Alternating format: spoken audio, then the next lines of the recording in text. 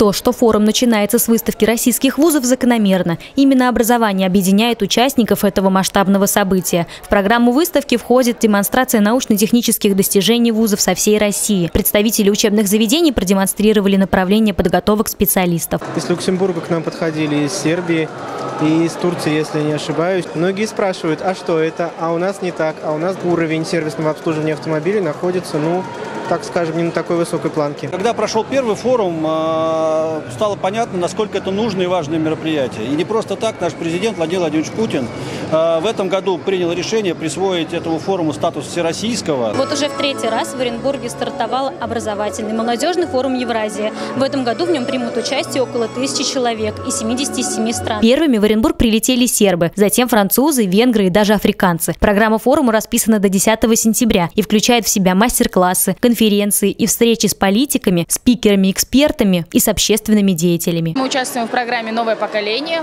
То есть у нас э, приехало очень много стран. В общем, мы сегодня все знакомимся, у нас первый день. Думаем, что в результате мы получим большой-большой, огромный багаж знаний, информации. У нас есть куратор-волонтер, который сумел нас прям сплотить. Круто за целый день. Мы очень много работаем, сотрудничаем, так сказать, и с другими командами тоже. Замечательно встретили, встретили организаторы, волонтеры, очень приветливо, дружелюбно. Мы заявили два проекта от делегации на грантовую поддержку.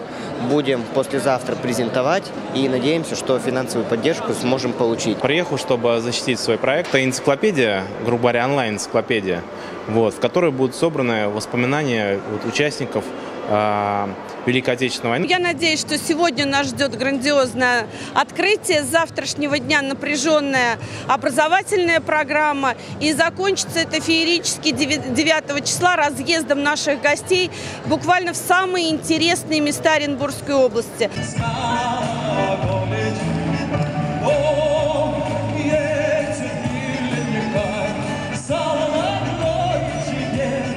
Свой молодежный статус открытие оправдало даже артистами. Практически все выступающие были студентами учебных заведений. На сцене играл симфонический оркестр имени Ростроповичей. Прозвучали песни более чем на шести языках. Культура Оренбуржья в программе открытия была подчеркнута самым большим в мире оренбургским пуховым платком. На протяжении всего представления полотно площадью 400 квадратных метров зависало над артистами. О подготовке организаторов говорит и то, что набор и обучение волонтеров проводился с апреля этого года. В число добровольцев вошло 30 представителей из других регионов России и зарубежья. Если мы посмотрим, как ребята боролись за право быть участниками форума, а, как они боролись за право быть волонтерами форума, с каким интересом волонтеры проходили обучение, да, вот посмотреть, как сюда ребята сейчас приезжают, как глаза горят, они там знакомятся, смотрят все.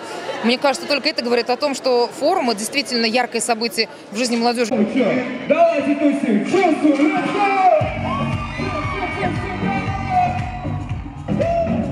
Кульминацией торжества стало выступление рэпера Натана, что было приятным сюрпризом для участников. Валерия Шарова, Олег Берендеев, Федор Бородацкий, городской телеканал ЮТВ.